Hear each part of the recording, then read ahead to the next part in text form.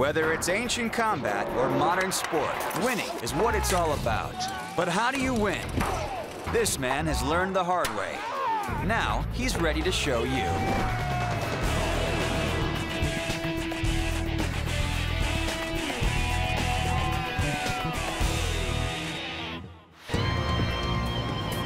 The newest form of personal combat is less than a century old.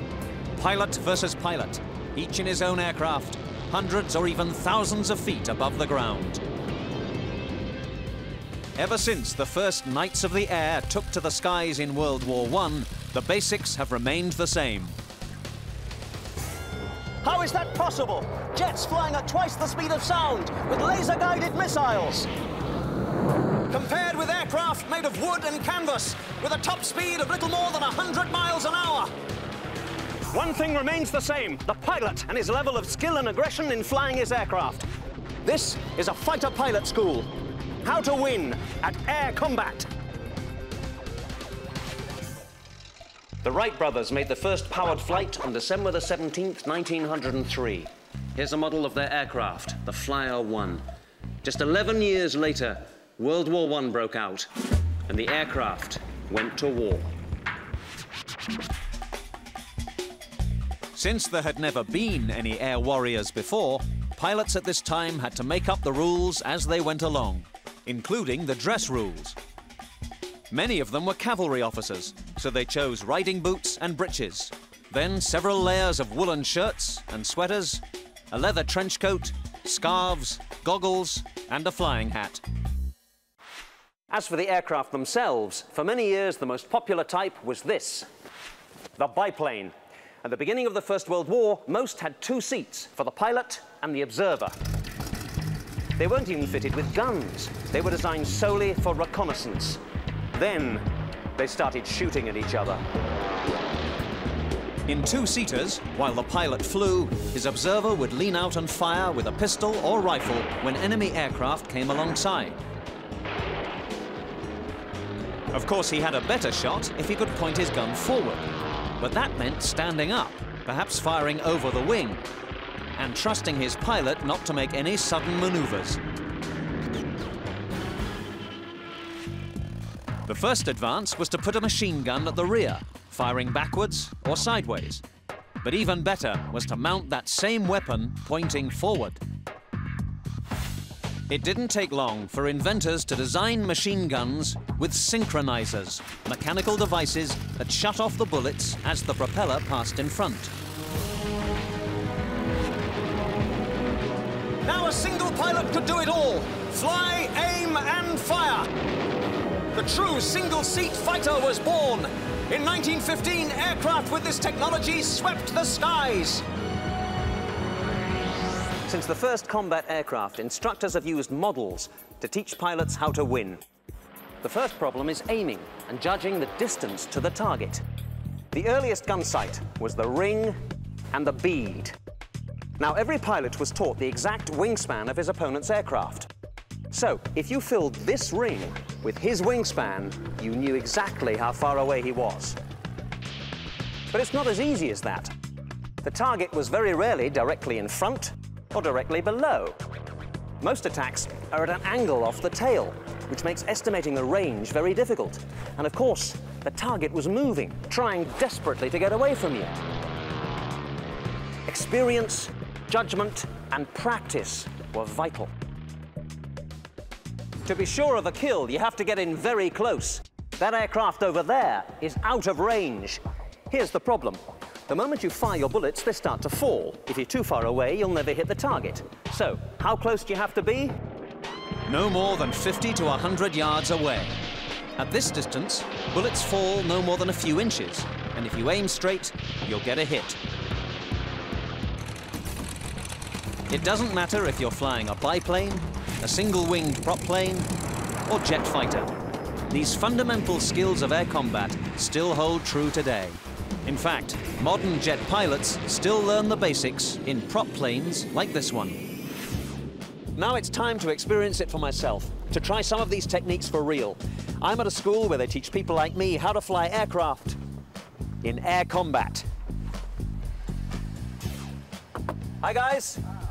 One of these pilots is Mike Blackstone. He's already taught me some of the basics of flying. Peter Woodward. Hi, Mike. Good to see you again. Like you to meet my partner in crime, Jim Neubauer, call sign Nails. Mike and Nails will take me through the lessons I need to prepare for my own dogfight, beginning with respect for the hardware. And now don't do that. Oh, sorry, sorry. Side. We will be flying the Italian-built Marchetti, a propeller plane designed for military use with flight characteristics similar to a jet. The instructor maintains safety control in the right-hand seat, but I will actually be flying the aircraft from the left, with its weapons at my command. Ultra-miniature cameras mounted in strategic positions provide views of our lessons. It's a far cry from a television studio, but it does the job. All I need is two minutes up here, seeing another plane in my path, to see why the pilots of World War I wanted their machine guns right in front of them. Putting a weapon on the nose of the aircraft made it into a very effective gun platform. All the pilot has to do is point in the right direction and fire. Seems obvious to us now, but it was a real breakthrough. It has always been up to each individual pilot to exploit the advantages of his aircraft. Each plane, for instance, has an absolute limit above which it cannot fly. This is called the ceiling, and as I climb to reach it, my plane slows down. But I am learning that this is where I look for an edge over the enemy. Now, it's possible that my opponent can't fly this high, so he can't jump me, but I can look down on him and see him below me, and then dive down to attack him. Immediately as I dive, gravity helps me down. We go faster and faster. Now, the first pilot to use these basic techniques was a German air ace called Max Immelmann. Excuse me while I pull out of this dive. Rather than just follow his target, Max Immelmann realized he could use the forces of gravity. He developed the Immelmann turn, one of the earliest air combat maneuvers. He would dive down on his target, fire a short burst, then use his speed to zoom upwards. Now he was losing speed, nearly stalling the aircraft. He would kick the rudder hard over, and the aircraft would fall out of the sky. If his target had changed direction, that was okay. He would simply steer towards him, dive down, fire another burst, and then zoom upwards once again. He kept on doing this until he'd shot his enemy out of the sky.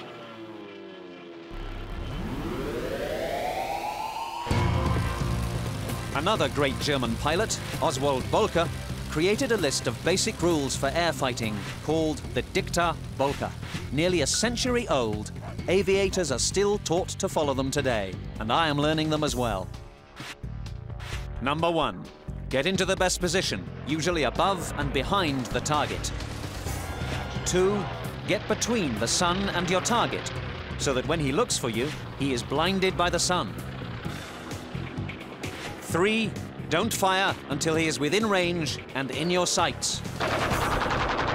Four, attack when the enemy is not expecting it. For instance, when he is preoccupied with observing below him. Five, keep your eye on him and never lose sight of him. The sixth rule is to avoid foolish acts of bravery, to live to fight another day. But the most important rule of all is that when attacked, you never turn your back. Air combat is extremely aggressive. Defensive maneuvers are only any good if they get you in a position to fire back. But what happens when I suddenly realize that I have an enemy aircraft on my tail? Peter, we've got an enemy fighter on our tail.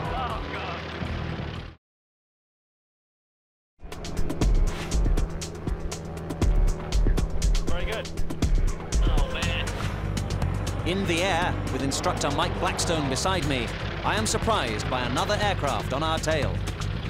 Where is he? Directly behind us! I see him!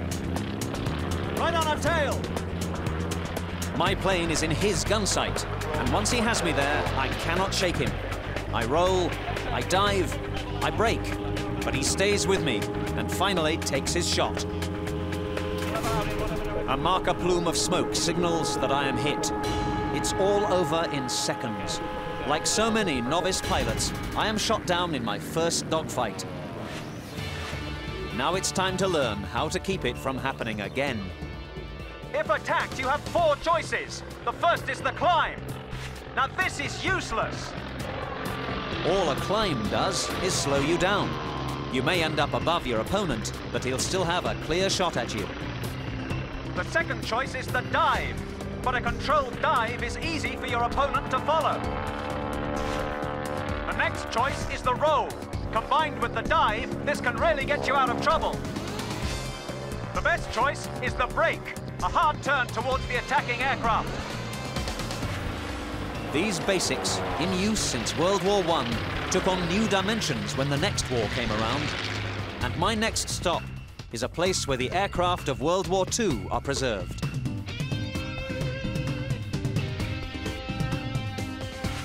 We're at Cal Aero Field, the Planes of Fame Air Museum at Chino in California.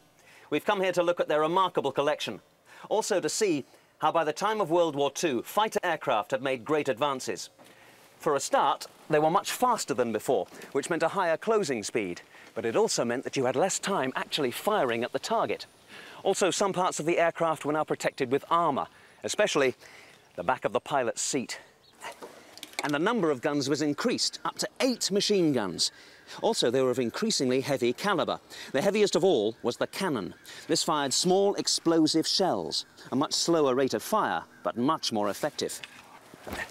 Despite the improvements in technology, it was always down to the pilot's experience and guts.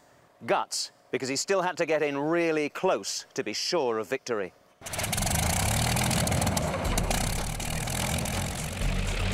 As the aircraft improved, so did the techniques of air combat. What was it like to win with these machines in battle? The best way to learn today is in a flight simulator. This one is in Irvine, California, and my instructor is Curtis Platt. As uh, air traffic control. The control tower for the simulator system is a row of computers. Curtis picks me two classic aircraft from World War II the American F 4F Wildcat and its nemesis, the deadly Japanese Zero. This is a Wildcat, the primary US Navy fighter at the outbreak of the Pacific War. It could fly high and it could take a lot of punishment. But this is a Japanese Zero. Now, this baby could outclimb, outturn, outpace, and outrange any Allied fighter of the time. But even the Zero had weaknesses. To keep it light, it had no armor. So, if you could get a shot at the Zero, it was really vulnerable.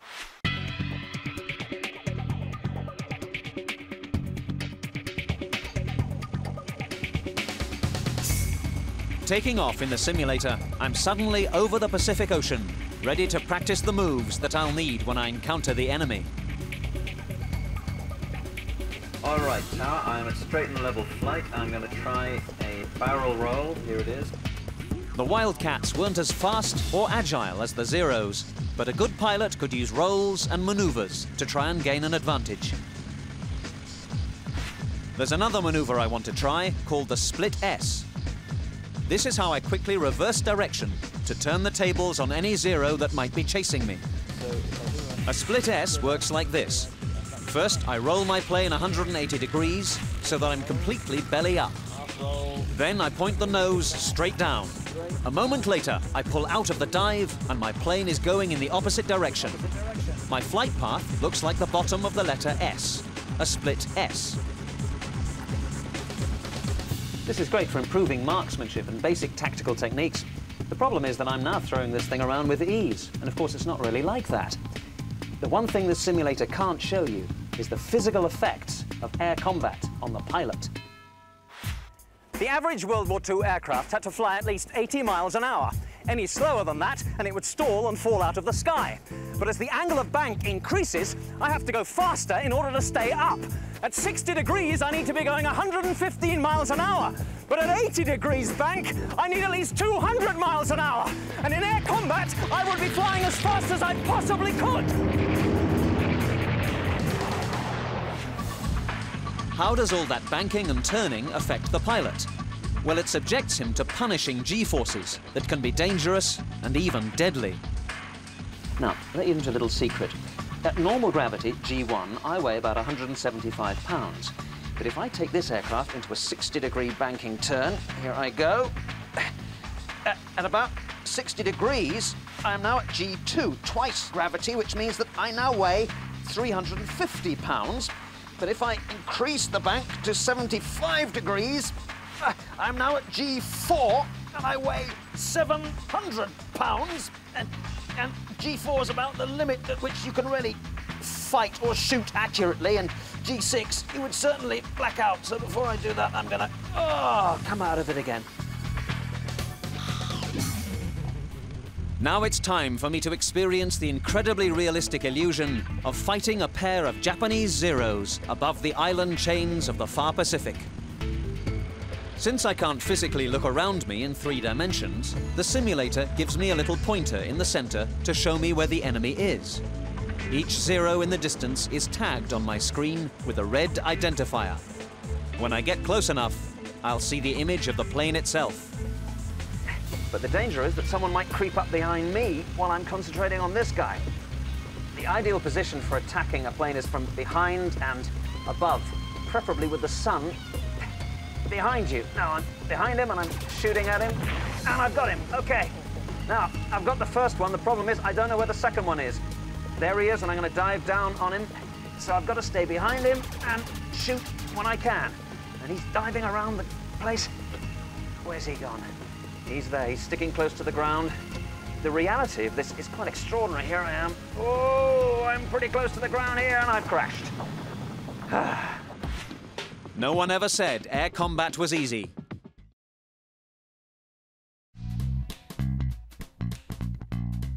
Back at Air Combat School, I have a few questions before my real dogfight. How do I know that I've shot another aircraft down? The only thing actually simulated is the bullets. Everything else is real. And you'll have in your right hand, you'll have a stick grip off of an F4, and you'll pull the trigger just like an F4 pilot would be pulling the trigger shooting guns. There'll be no question in your mind when you get a kill. Now, Nails will be the instructor in the plane I'll fly against, but I have yet to meet the pilot who will be my actual opponent. Peter, I'd like you to meet your adversary, Smudge. Call sign Smudge, Larry Vidal. Peter. Gentlemen, this is the real deal. This is air combat. There's no points for second place. So, now the gloves are off. My opponent and I are in the briefing room, where Mike talks us through the battle we are about to fight. Get to the shooting part. That's why you guys are here. You guys are here, are here because you want to want to kill each other, basically, right? In order to kill another airplane, you need to get into a firing parameter to, that, that can achieve that. Your best chances for landing bullets on another airplane are from a rear quarter, in other words, a rear. Wait a minute. A rear shot. I know this. It's exactly what I learned from studying the aces of World War One. The distance you need to be to shoot is between 500 feet and 1,000 feet. And to tell that distance, we use our gun sight. Our gun sight allows us to measure the size of our opponent's airplane. I know this too. The old ring and bead. The basic idea hasn't changed in nearly 90 years. period of time. Then you squeeze the trigger down, you hold it down for three to five seconds, and whammo. You get a shot, you get a kill, the smoke comes on, and you know that you've done your job well. What has changed is the performance of the aircraft. We'll be turning in tight circles, constantly forcing us to look out of the top of our canopies to keep our eyes in the direction we're turning. Our two planes are evenly matched, so the pilot who turns most efficiently is the one who will get in firing position first and win. If you can keep your head together while you're fighting, you're gonna do well. If you start losing it, letting emotions take over, you're gonna lose. Off to the planes now, and we'll really see who the better man is. This is it. The time has come.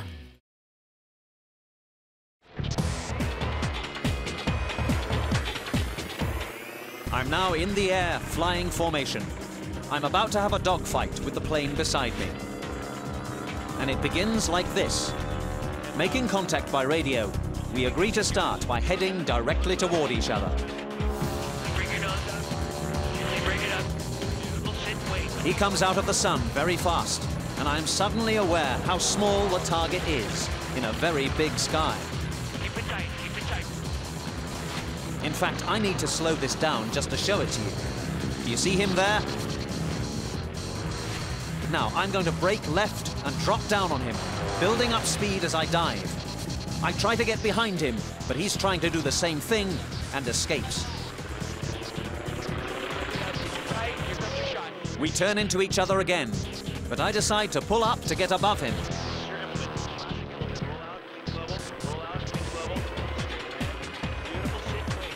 I roll the aircraft upside down so that when I look up, I am looking down at the ocean. At four and a half Gs, my body is screaming at me. I can hardly hold the stick, and Mike is urging me to hang in. But I'm disoriented. Where am I? And where is he? But wait, there he is. I'm right on top of him. This is what we call a snapshot, as he passes directly through my gun sight for only an instant. Hard. That's the stall. That's the stall. A little more left. He's jamming your I fire ahead of him, and he flies straight into my bullets. Last pull. We're tracking, tracking. The plume of smoke tells me I have hit him, but I fire again to make sure he goes down. I spray him repeatedly, and he rolls out in defeat. We're off left. Knock it off. Okay. That's it back. Perfect. I don't know where my stomach is anymore. Oh. The exhilarating experience is coming to an end. As we were told, only the bullets were simulated, so both planes are returning to base unharmed. For me, I'm glad to say I was able to apply the lessons I learned. Despite the torture to my body, I remembered to be aggressive, to approach my target from the rear, to get him in my gun sights and fire. I had no choice. Success in this fight was up to me alone. So, how do you win at air combat?